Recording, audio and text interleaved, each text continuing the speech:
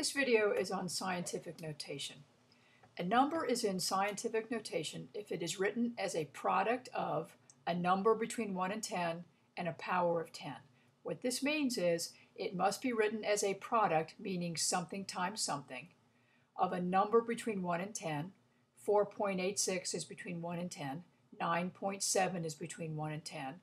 486 is not between 1 and 10. 0.0097 is not between 1 and 10. So we are taking these numbers and we are rewriting them so that the first number is a number between 1 and 10. And then the second part is it's going to be a power of 10. We have to come up with rules for getting these two parts. We have to get this first number and then we have to decide on the power of 10. So the first thing you want to do is to scan the number from the left and place what I call an imaginary decimal point after the first non-zero digit. So I scan in from the left and I place an imaginary decimal point. So I actually just put like a little caret thing right there. That's my imaginary decimal point because it's after the first non-zero digit. So scanning in from the left, I see my first number, then I put my imaginary decimal point right behind that number. This automatically creates a number between 1 and 10. So my number between 1 and 10 is 4.569 times 10 to some power. That's our second part. Determine how many places the imaginary decimal needs to move to line up with the original decimal point. Well, you may look at this number and say, hey, where's the original decimal point? I don't see a decimal. If there is no decimal showing, it's understood to be at the end of the number there. So what we're trying to figure out is how many places does my little imaginary blue caret here have to move to land on this red decimal point? Well, this would need to move one, two, three places to land here. So this makes times 10 to the third. So 4,569 is equal to 4.569 times 10 to the third in scientific notation. Let's look at another example. Follow these rules here. Scan the number from the left and place your imaginary decimal point after the first non-zero digit. So scanning in from the left, there's my first number. I put my imaginary decimal point right there. And then that creates my number between 1 and 10. So this is 4.5000. Now, one of the reasons to do scientific notation is to not have to write all these zeros. So 4.5000 is the same as 4.5. So I'm going to just drop those off and write 4.5 instead, times 10 to some power. Well, my original decimal is sitting here. Here's my imaginary decimal. It needs to move one, two, three, four places to get back to where it was originally. So that is my number in scientific notation. 4.5 times 10 to the fourth. Here's a pretty big number right here. Same process, scan in from the left, and I get 6.53, etc. with all the zeros. But in this case, I'm just going to write the 6.53. There's no reason to write all those zeros. Times 10 to the whatever power will get my imaginary decimal to line up with my original decimal that imaginary is going to have to move one, two, three, four, five, six, seven, eight places to get lined up here with the original.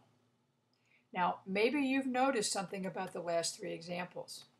These last three examples, here's our examples, here's our answers. Every one of these has a positive exponent. And the reason we have a positive exponent on these examples is because we started with big numbers. So big numbers have positive exponents. That's just one little thing you can do to check to see if you've got the right exponent. Big numbers have positive exponents.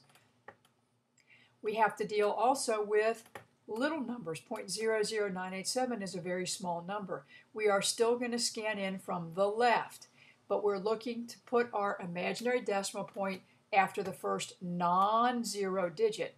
So I go here, I don't want that, I don't want that. Here's my first non-zero digit. I put my imaginary decimal point right there, which creates 9.87 as my first number, times 10 to some power. Now this time, my decimal point is already visible and it's up in the front.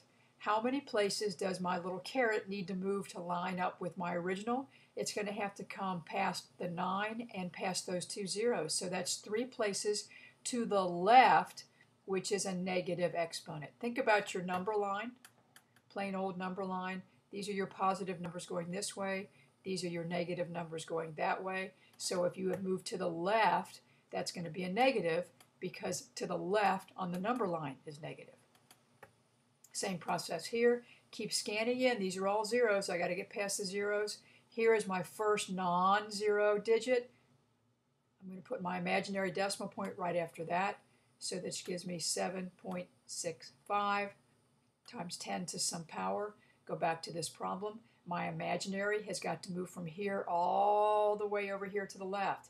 That's got to go one, two, three, four, five, six places to the left. Notice little numbers like these two have negative exponents. One last one like this, 0.16, scanning in from the left.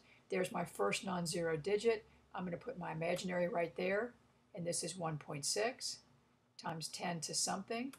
That imaginary has only got to move one place to the left to line up with where the original decimal was. So there is my scientific notation, 1.6 times 10 to the negative 1.